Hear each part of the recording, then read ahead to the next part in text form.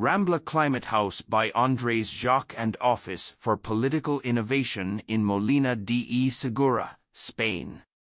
Since the 1980s, vast stretches of land in the formerly rural county of Molina de Egura, Murcia, have been exploited to create suburbs.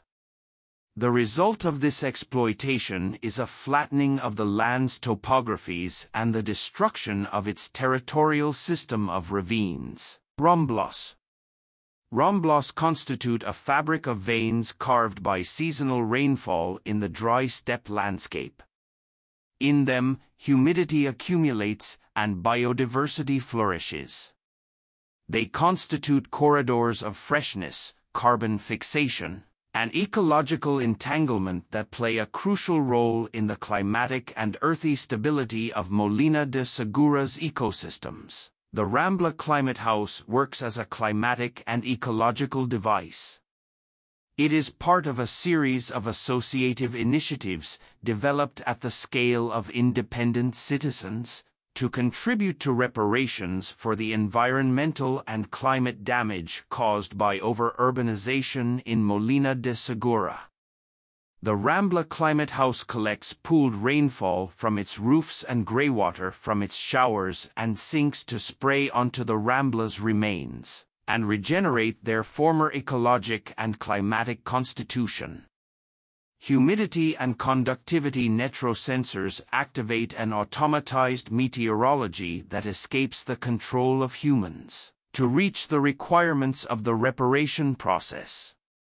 The house is organized around this elliptical section of Rambla, as an observatory in alliance to this reconstructed landscape and as a sequence of interconnected spaces of different widths. Following the reparation of the hydrothermal conditions of the Rambla, glimpses of its former more-than-human life have rapidly re-emerged after a one-year period. Now, brachypodiums, myrtles, mastic trees, fan palms, oleanders, and fire trees grow in the elliptical section. Insects, birds, and lagomorphs find shelter in it. Thermally, the construction of the house tests unorthodox ways to maximize energy efficiency. A marble bench around the elliptical section allows residents to cool off by allowing direct contact to the house's thermal inertia.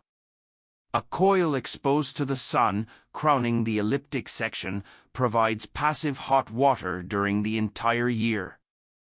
The Rambla Climate House is the result of a collaboration between architects Andres Jaque slash Office for Political Innovation and Miguel Mesa del Castillo, the edaphologist Maria Martinez Mena, and the ecologists Paz Parrondo Celdran and Ruben Vives.